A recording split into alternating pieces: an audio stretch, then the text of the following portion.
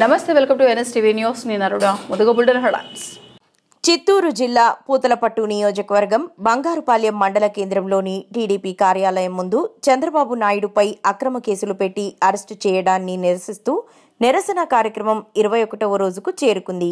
ఈ కార్యక్రమంలో చిత్తూరు జిల్లా సర్పంచుల సంఘం అధ్యక్షులు కోకా ప్రకాష్ నాయుడు మండల వాణిజ్య విభాగం అధ్యక్షులు భాష్యం వంశీ చౌదరిలు మాట్లాడుతూ ఈ వైసీపీ ప్రభుత్వం ఎన్ని కుట్రలు చేసి తప్పుడు కేసులు పెట్టి టీడీపీ నాయకులను కార్యకర్తలను జైలుకు పంపినా అంతిమ విజయం న్యాయానిదే అని అన్నారు.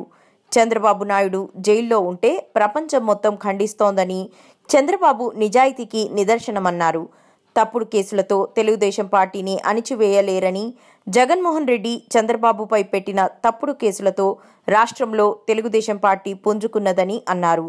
ఈ కార్యక్రమంలో కమల్నాథ్ రెడ్డి ఎన్పి రాధాకృష్ణ తగ్గువారిపల్లి ఉప సర్పంచ్ లోక్నాథ్ నాయుడు మండల అధికార ప్రతినిధి మొగిలి మంజు తెలుగు యువత అధ్యక్షులు తుంబకుప్పం రమేష్ మడుపోలూరు సూరి పాపినివాండ్ల ఊరు వెంకటేష్ టేకుమందర్ చిరంజీవి మణి మహిళలు టీడీపీ నాయకులు తదితరులు పాల్గొన్నారు.